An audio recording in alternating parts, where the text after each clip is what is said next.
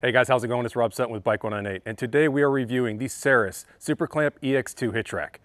So before we get into what I actually think of the rack itself, let's go ahead and take a look at the specs and see what we're dealing with. This is a single bar, two bike hitch rack mount that is also available in a four bike configuration. You can hold up to 60 pound bikes in both of the trays for a combined total of 120 pounds worth of bike weight, and it only weighs 35 pounds. It is compatible with one and a quarter and two inch receivers. You do see I am using a two and a half here with an adapter. The bikes do mount in the trays with these straps on the bottom of the wheels as well as the over the tire arms that clamp down on the tires themselves. This provides a way to mount your bikes without actually touching the frames. And the Saris Super Clamp EX2 retails for $579. All right guys, so first let's get into what I actually liked about the rack itself. First off, to secure this to the hitch, you're actually using a threaded bolt instead of some kind of like pressure mechanism that expands within the hitch itself. What this means is you get a really secure connection to the hitch with the rack and you don't have to really worry about it loosening up as you're actually ratcheting that down with a socket or a wrench. So it provides a really tight connection that tries to help with wobbling or the rack moving itself.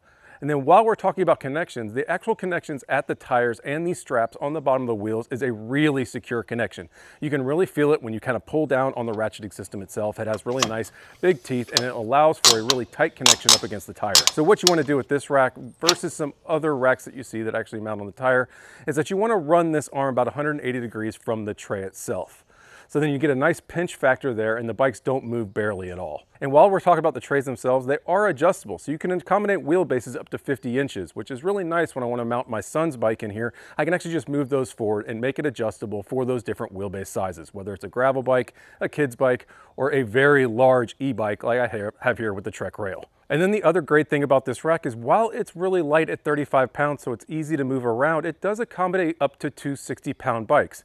As you can see behind me, I have a little bit over a 30 pound bike here with the Polygon, but then right behind it is a 55 pound bike with the Trek rail and it accommodates up to those really large tires up to a 4.0, but then it also can accommodate like my gravel tires that are really narrow. So the availability of mounting up really a lot of different kinds of bikes makes it really versatile if you want to be able to use it for your entire set. So this hitch rack really does have a great ability to accommodate a wide range of bikes. So you have one hitch rack that can do everything that you need no matter what you own. Then this hitch rack, like most that are designed like this, does have a lever that you can pull it down and get it out of the way of your tailgate if you have an SUV.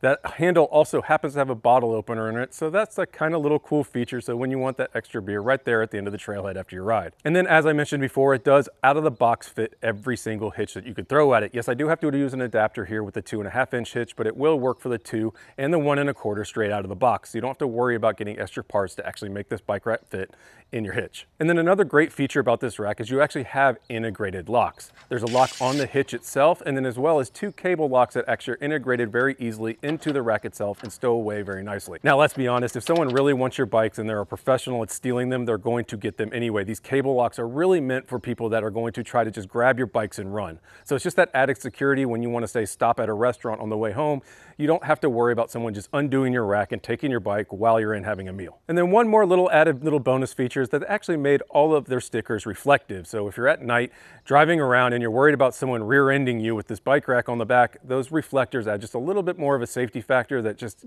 gives you a little bit more peace of mind and protects what you have out there on your truck. And then lastly, at $579, this is a pretty good overall value for a hitch rack.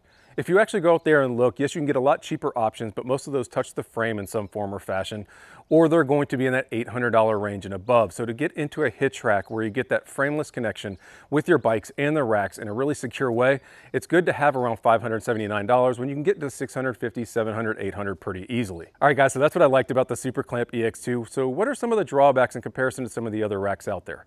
First off, this is not a tool-free design. You do have to carry a 19 millimeter wrench or ratchet set with you to tighten this rack down onto the hitch.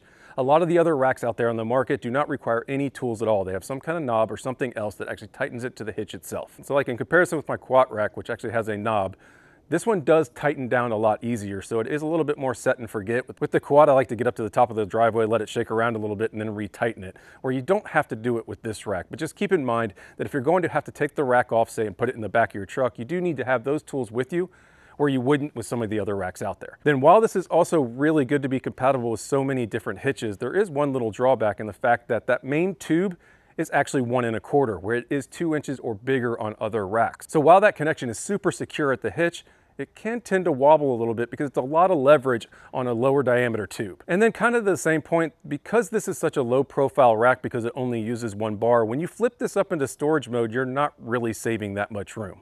It would have been nice to see a pivot point that's a little bit farther back that you can get the rack closer to the back of your vehicle when it's actually in the storage position. And then lastly, because this is a one bar setup, the bikes are pretty close together. You've got to be really careful about clearances, especially if you're using bikes that are different sizes.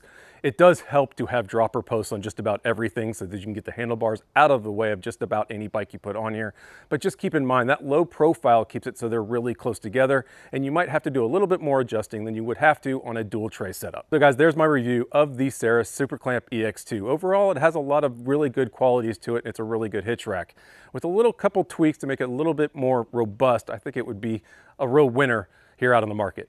So guys, I want to hear what you think down in the comment section below. Is this something you could see yourself buying? If you have any questions about the rack itself, please hit up the comments and I'll answer every single one of them I can. If you enjoyed this review, please give it a thumbs up. Consider subscribing to Bike 198 for more reviews like this in the future. And until then, on to the next one. Thanks guys, see ya.